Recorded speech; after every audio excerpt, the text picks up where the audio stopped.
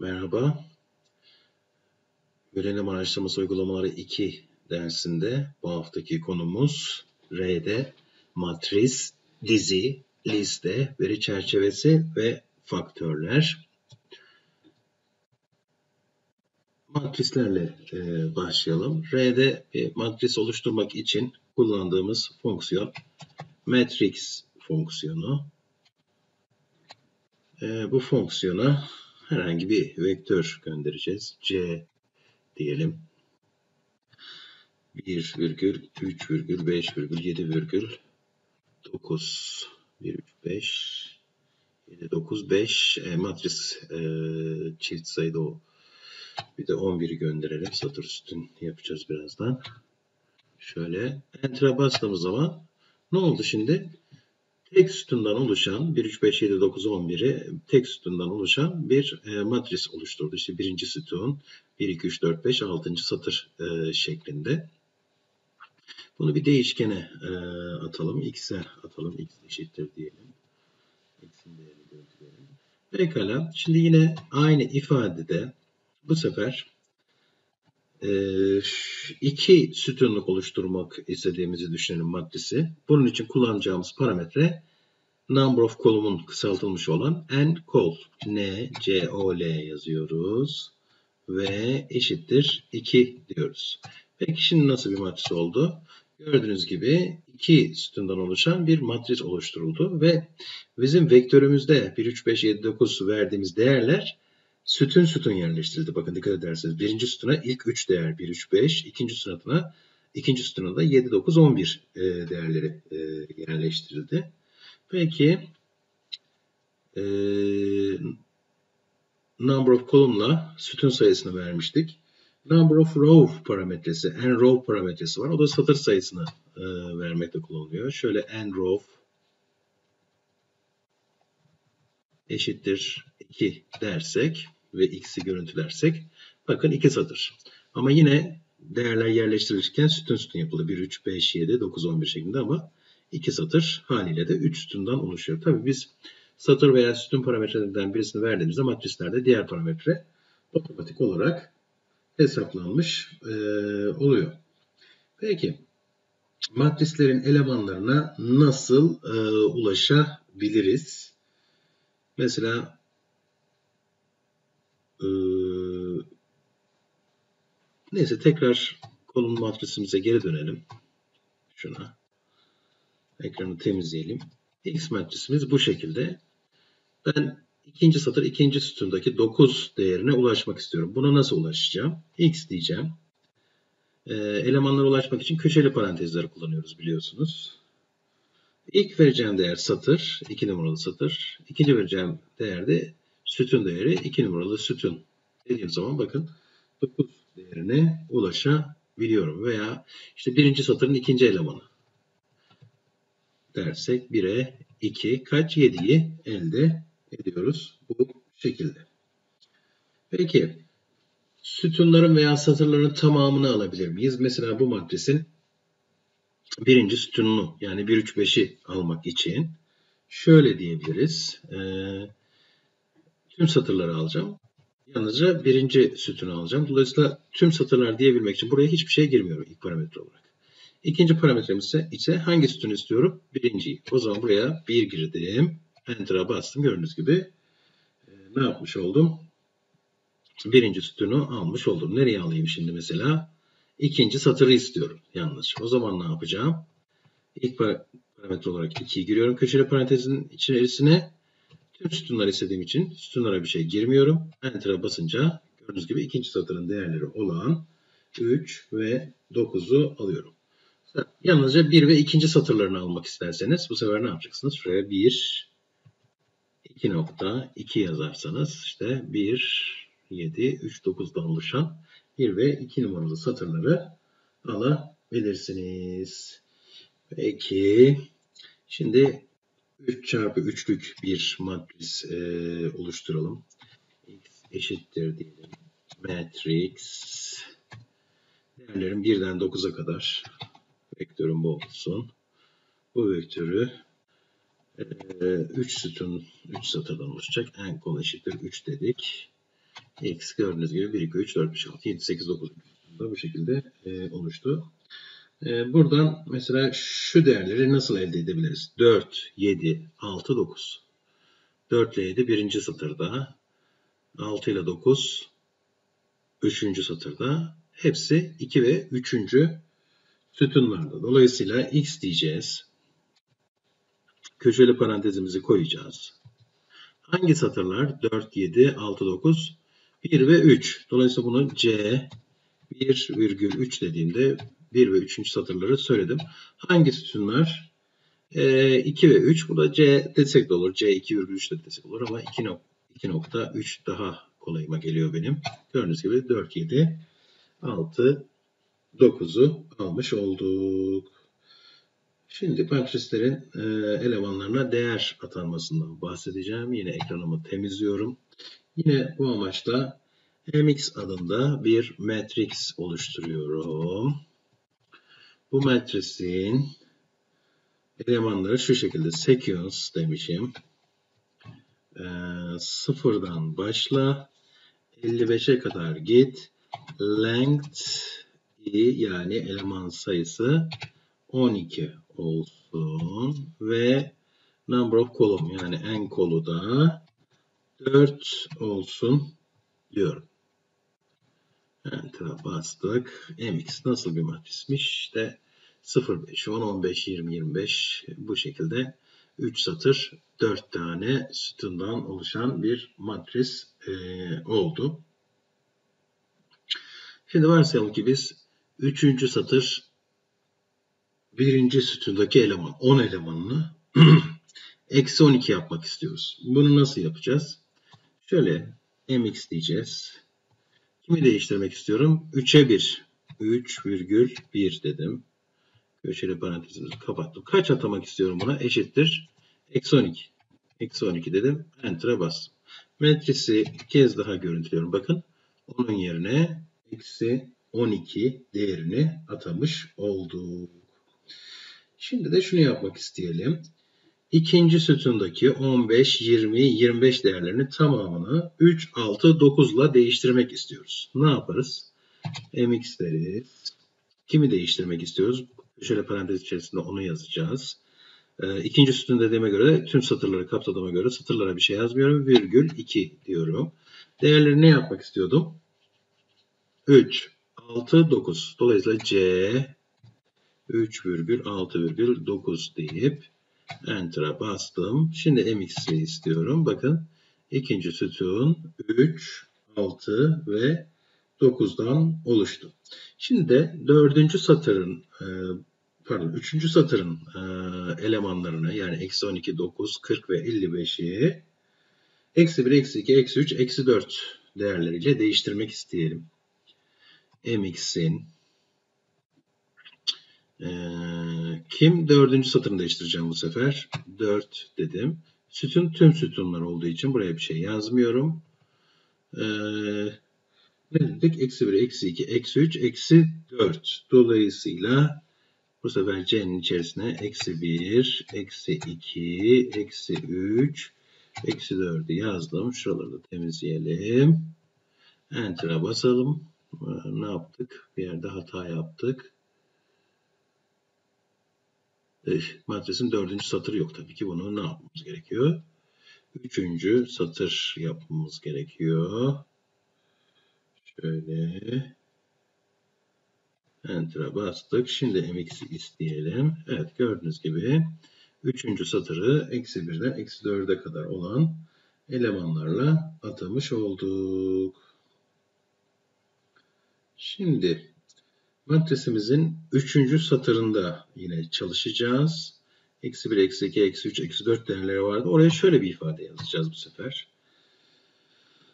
Vektörün içerisine 0.5 virgül 0.9 yazacağız. Ne bekliyoruz şimdi? İki tane değer. Burada dört değer var. Gördüğünüz gibi biz iki tane değer atadık. MX istediğimizde ne olacak? Recycling rule burada da e, çalışacak. Buna 0.5, birinci sütuna 0.5, ikinci e, sütuna 0.9 verdikten sonra e, bitti eleman tekrar 0.5'e döndü. Sonra yine 0.9 değerini vermiş oldu. Peki. Şimdi ekranı temizleyeyim. MX'in son halini bir göreyim. Bu matrise sütun ekleyebilir miyiz? Evet ekleyebiliriz. Cbind yani cbind diye yazılan bir fonksiyonumuz var. Bu fonksiyon e, kolonları birbirine bağlar. Dolayısıyla mesela bu matrisin sağına bir e, e, sütun eklemek istiyorsak kime ekleyeceğim? Matrisime yani mx'e ne ekleyeceğim? Sonuna bir beşinci sütun. Üç tane eleman olacak. C deyip buraya 3 tane eleman yazabiliriz. İşte nokta 1, nokta 2, nokta 3 şeklinde yazdık. Enter'a bastık. Bakın şu 5. sütun yeni oluşturuldu. E, matrisimize eklenmiş oldu. E, satır da e, ekleyebiliriz. Bunun için yine ben ekranı temizleyeyim. MX'imiz aynı şekilde yine eklediğimiz sütunu hafızaya almadık unutmayın. O nedenle e, göstermiyor onu. Bu sefer de row bind kullanacağız. R, B, I, N, D diyeceğiz. Kime ekleme yapacağız? MX'e ekleme yapacağız. Ne ekleyeceğiz? Satır ekleyeceğiz. Dolayısıyla 4 tane eleman. İşte 100, 2 nokta, 103 dersek ve Enter'a basarsak gördüğünüz gibi dördüncü bir satır eklemiş olduk MX matrisimize. Peki Şimdi yine ekranı temizleyeyim. MX'i görüntüleyeyim. Şöyle bir ifade yazsak. cbind mx virgül mx. Bu ne yapar? mx'in yanına mx'e ne olarak ekler? cbind dediğimiz için sütun olarak. Gördüğünüz gibi 4 sütun vardı. 8 sütuna yükselmiş oldu matrisimiz. Yani matrisimiz yanına e, sağ tarafına bir kez daha kendisini eklemiş oldu. Tersine şunu söylesin e, yazarsak, row bind yazarsak mx virgül e, mx'i bu sefer de altına satır olarak eklemiş oldu maddesi. Evet. Peki. Bu şekilde farklı farklı şeyler e, yapabiliriz. Zaten slaytlarınızda bunların Silbite ile ilgili örnekler var. Matrisin transpozundan e, bahsedeceğiz. Şimdi MX matrisimiz son olarak ne halde? Burada.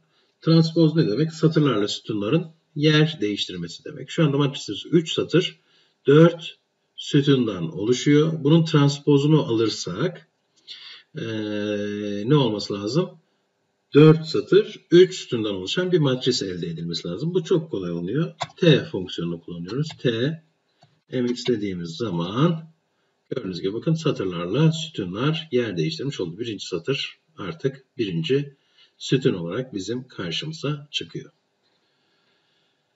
Peki biraz da matrislerde aritmetiksel işlemler yapacağız. Bu amaçla bir matris farklı iki matris tanımlayalım. MA matrisi e, matrix diyelim.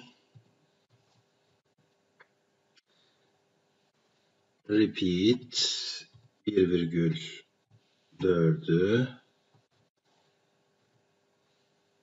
en kol eşittir 2 diyelim. Hemen maddesimiz gördüğünüz gibi 4 tane birden oluşan bir matris oldu. B matrisimizi de şöyle tanımlayalım. MB eşittir matrix birden 6'ya kadar. Peki burada da en kolumuz eşittir 2 olsun. Ve MB'yi de görüntüleyelim. O da gördüğünüz gibi iki sütundan 1, 2, 3, 4, 5, 6 değerlerinden oluşan bir matris. Şimdi ilki 2 çarpı 2'lik bir matris. İkincisi MB'de 3 çarpı ikilik bir matris. Bu matrisleri çarpmayı e, deneyeceğiz. EMA matris çarpımı için yüzde yıldız yüzde operatörünü kullanıyoruz. Buraya da MB'yi yazdık. Enter'a bastık. Ne diyor? Uygun olmayan argümanlar. 2 çarpı 2'lik matrisle 3 çarpı 2'lik matris e, çarpılamıyor. Ama şöyle yazsaydık MB çarpı MA yazsaydık gördüğünüz gibi sonucu alabilecektik. Çünkü e, bu durumda MB 3 çarpı 2 ilk matrisimizde 2 çarpı 2 yani ilk yazdığımız matrisin sütun sayısının ikinci yazdığımız matrisin satır sayısına eşit olması gerekiyor. Matrislerin matematiksel olarak çarpılabilmesi için. Bunu sağladığımız için sonucu e, elde etmiş e, oluyoruz. Ama şöyle bir şey yazarsanız mesela MB yıldız EMA bu şekilde e, sonuç alamıyoruz. Çünkü bunlar e, satır ve sütun olarak uygun değiller. İki maddesinin satır ve sütun sayısı aynı olursa e, bu yıldız operatörünü e, karşılıklı elemanların çarpılması için kullanabiliriz. Ama matris çarpımı için karıştırmayın bunu. Yüzde yıldız yüzdeyi kullanıyoruz. Peki bir matrisin satır ve sütun sayısı nasıl elde edilir? Bunun için de dimension kısaltılmış olan dim komutumuz var. Mesela dim ma dersek 2 2 ne demek bu? 2 satır 2 sütundan oluşuyor. Veya diğer matrisimiz dim mb dediğimiz zaman da e, diğer e, mb matrisimizin 3 satır 2 sütundan oluştuğunu söyleyebiliyoruz. Peki ekranı yine temizleyelim. Şimdi bir başka matris oluşturalım. x eşittir matrix dedik. Sıfırdan 3'e yani 0, 1, 2, 3, 4'ü enkol eşittir 2. 2 sütunluk matris yap diyelim. X gördüğünüz gibi 0, 1, 2, 3 şeklinde 2 satır 2 sütunluk bir kare matris. Kare matrislerin tersini e, alabiliriz. Tersi almak için kullandığımız fonksiyon solve fonksiyonu. Solve x dediğimiz zaman gördüğünüz gibi matrisin tersini elde ettik. Bunun doğruluğunu teyit etmek istiyorsanız x'in kendisiyle neyi çarpacağız? Ee, yüzde, yıldız, yüzde, tersini çarpacağız. Bu durumda birim matrisi elde etmemiz lazım. Yani köşegenleri bir, diğer elemanları sıfır olan matrisi veriyorsa bize bu doğrudur. Gördüğünüz gibi burada teyit etmiş oldu. Peki matrislerden bu kadar bahsedeceğiz. Şimdi diziler ve listelerden e, bahsedeceğiz. Vektörler ve matrisler hatırlayacağınız gibi aynı tip verilerden oluşuyordu. Hatırlayacağınız gibi yine R'de 4 tip e, veri vardı. Biz vektörlerimizi, matrislerimizi oluştururken aynı tip T verilerden oluşturuyorduk. Havuç e, yapmadığımız zaman da en düşük seviyedeki veri e, neyse o tipte e, kabul ediliyordu matrisimiz ama bunun da bir anlamı olmuyordu. Bunu daha önceden e, söylemiştik. E, dizilerde ve listelerde ise durum biraz daha farklı olacak. E, vektörler tek sütundan oluşuyor. Matrisler birden fazla sütundan e, oluşabiliyor. Diziler ise yani tek boyut, iki boyut olarak düşünürsek sırasıyla vektörleri ve matrisleri. Diziler ise en e, boyutlu olabiliyor. Yani 3 boyutlu, 5 boyutlu, 7 boyutlu dizi oluşturma şansımız var. Ama dizileri pek kullanmıyoruz. Ama bir örnek olsun diye şöyle bir dizi tanımlayalım. Dizi eşittir. Dizi oluşturmak için array fonksiyonu kullanılıyor. Yine bu fonksiyonda öncelikle değerlerimiz 1'den 12'ye kadar tam sayılar. Bundan sonra dizimizin boyutlu e, boyutlarına karşılık gelen elemanlara vereceğiz. Dim dedik. E, bunu C ile yapacağız. C 2 virgül 3 virgül 2 dedik. Parantezlerimizi kapattık. Ve dizimizi istedik. Gördüğünüz gibi şimdi şu iki birinci boyutun iki parametresi nereden görüyorsunuz? Şu bir ve 2'den e, e, görüyoruz. Ondan sonra işte bunun e, alt boyutu olarak yine 2 satır 3 sütundan e, oluşturuldu ve değerler sırası 1, 2, 3, 4, 5, 6 olarak bu 1'e atılırken 2'ye de 7, 8, 9, 10, 11, 12 değerleri atılmış oldu. Dediğim gibi dizlere bir tane örnek e, gösteriyorum. Çok fazla kullanılmıyor. Bir de listeler var. Ee, listeler yine fazla karşımıza çıkmayacak ama dizilerden biraz daha fazla kullanıldığını söyleyebiliriz. Ee, listeler dizi, matris ve vektörlerden şöyle bir farklılık gösteriyor. Ee, biz listelerin içerisine farklı tipte e, veriler koyabiliyoruz. İşte hem karakter verisi, hem sayısal veri, hem mantıksal veri, hem de kompleks veriyi dizilerin içerisine istersek yerleştirebiliyoruz. Şöyle bir liste oluşturalım. Liste eşittir diyelim. Listeyi oluşturmak için kullandığımız fonksiyon list fonksiyonu.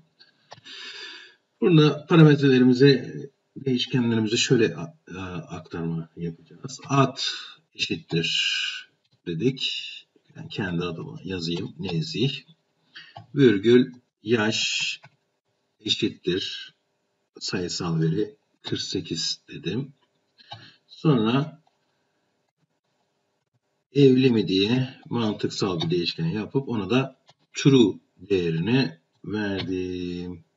Böylece listeyi oluşturmuş oluyorum. str diye bir komutumuz vardı. Değişken hakkında daha detaylı bilgi veriyordu. str liste dediğimiz zaman list olduğu bize söyleniyor ve 3 tane eleman işte ad elemanı karakter olduğu ve değeri e, yaş elemanı nümerik olduğu ve değeri evli mi e, elemanı logical olduğu ve değeri bize gösterilmiş. Şimdi bu listenin elemanlarına nasıl e, ulaşılır? Mesela liste elemanlara ulaşmak için köşeli parantez R'de kullanılıyor. Şöyle bir dersek birinci eleman Nezih'e ulaşmış e, oluyoruz. E, şöyle de e, listenin kendisini bir görüntüleyelim. İşte listenin elemanları ad, yaş ve evlimi. Bunların da elemanları sırasıyla nezih 48 ve true değerlerini almış. Ee, ilk elemana şöyle de e, ulaşma şansımız var. Liste deyip bir iki tane köşeli parantez içinde yazdığımızda birinci elemana bu şekilde ulaşabiliriz. Veya yaş elemanına ulaşmak istiyorsak liste dolar yaş deyip bu elemana da ulaşma şansımız var.